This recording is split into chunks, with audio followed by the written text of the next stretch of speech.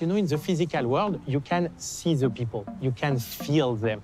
Online, you are blind, but it does not mean that the customer is invisible because they gave a lot of information regarding their behavior with uh, the touch, the tap, and our job is to understand this behavior to provide the best experience for the people.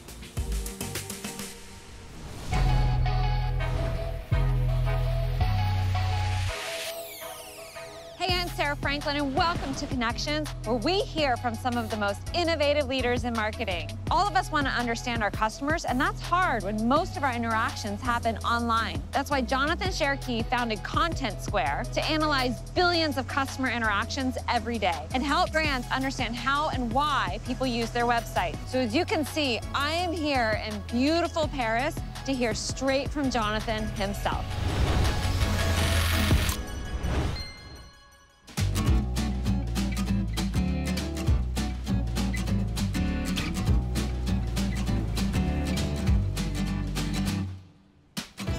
Ever done anything like this? Sitting on a boat, going down the river of Paris on an First interview. interview in the River Seine. First one, Sarah. Your family ran a food export business here in France. Is that where your entrepreneurial spirit comes from? I grew up in a, in a family um, where my grandfather ran uh, a dry vegetable company. My father is working with them, my brother is working with them. I should have worked with the family business. And so every weekend, it was kind of a business meeting. at, uh, maybe without knowing, I was learning a lot from this, uh, this uh, family background. Contentsquare started out as a project when you were in business school. Where did the idea come from?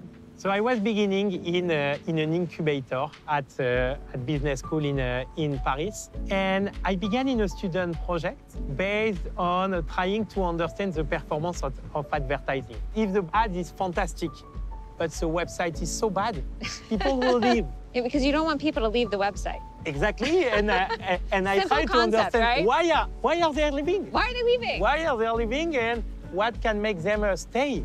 So to really capture and understand that, we try to go beyond clicks because the current uh, analytics technology helps you to understand step by step where you were losing customer.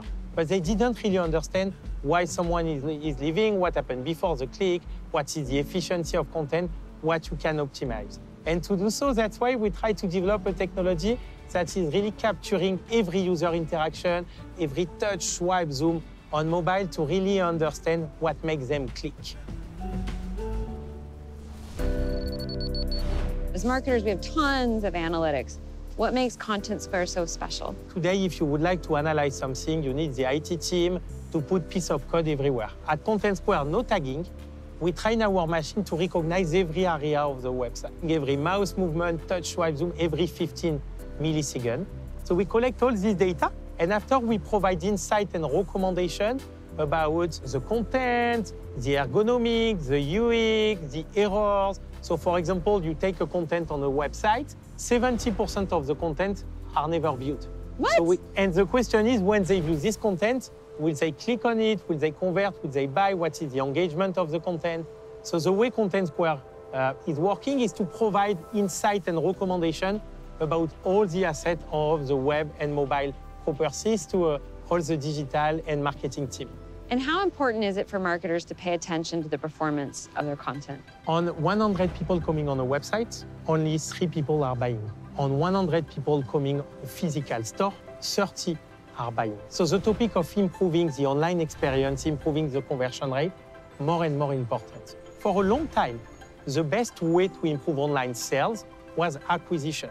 Make more people come to the website. You had Google Bigger with funnel, exactly bigger people. Google with a search, or for example, Salesforce with CRM. But now the cost of acquisition is high, so traffic is on mobile, and the conversion rate is low. And so you said that conversion for in person is better than online. How important is it to create a connection with your customers and prospects in that online digital world? You know, in the physical world, you can see the people, you can feel them. Online, you are blind. But it does not mean that uh, the customer is invisible because they gave a lot of information regarding their behavior with the, the touch, the tap. And our job is to understand this behavior to provide the best experience for the people. And it means you have to understand everyone, personalize the experience without compromising privacy. Because I believe that privacy is one of the key pillars of the future digital society. And how important is it that you own your data as a customer in building trust with a brand? The question is, is less and less a question of ownership of the data, but more about how you can leverage information without storing information regarding the user, providing a good experience and personalized experience. And the way we think about it is we don't care who you are. We don't care where you are coming from. We care about your behavior. And based on that, we are analyzing it to provide insight, recommendation, or to uh, help to personalize the, uh, the experience. So you do not need to choose between uh, privacy or, or good experience.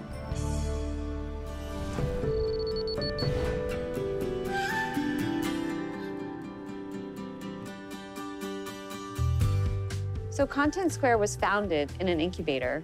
What are you doing to help that next generation of innovators and disruptors?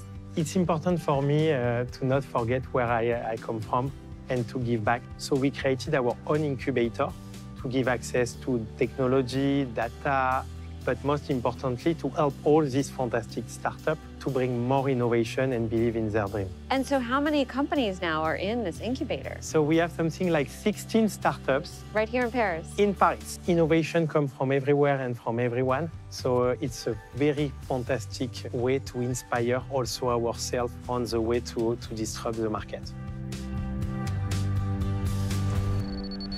How does that content experience play out on a global scale? There are a lot of difference from one country to another. Let me give you some example. A French person is going to a website. Usually, they are looking at uh, three pictures of a specific product. Three pictures? Three pictures, that's all. In China, it's 20. so there are a lot of difference from uh, from nationalities, and it means that you have to adapt your experience, think global, but act local. And what do you think the future is going to be for digital? Couple of insights. One, I think the, the world will be more and more uh, real-time oriented. So you, you really need to capture the emotion of the people in real time when they are browsing because you don't have a lot of opportunity.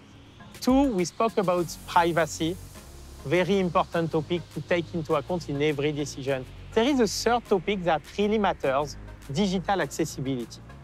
We saw a lot of improvements in the physical world, but not enough in the digital world. One billion people have difficulties to access to online content.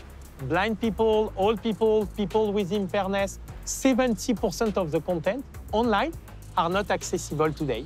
So I think that accessibility will be a very important topic for the future of the world. I love to think that where there is a will, there is a way. and our way is to, to have a strong impact. For content marketers, how do you think they feel when 70% of the content you're saying is not being looked at? Well, they have to work more, first of all.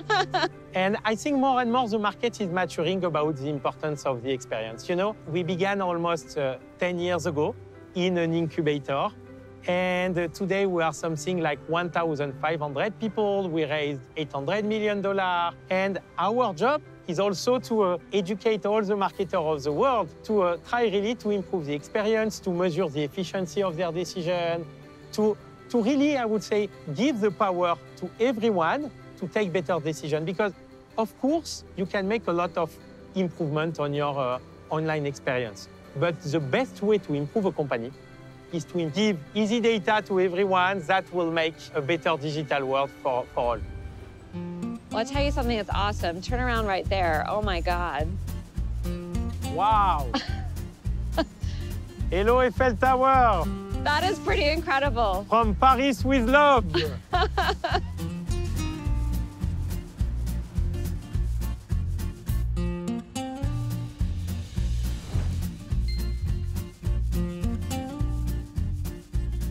Thanks for tuning in. Never miss an episode by subscribing and turning on your notifications. We'll see you next time.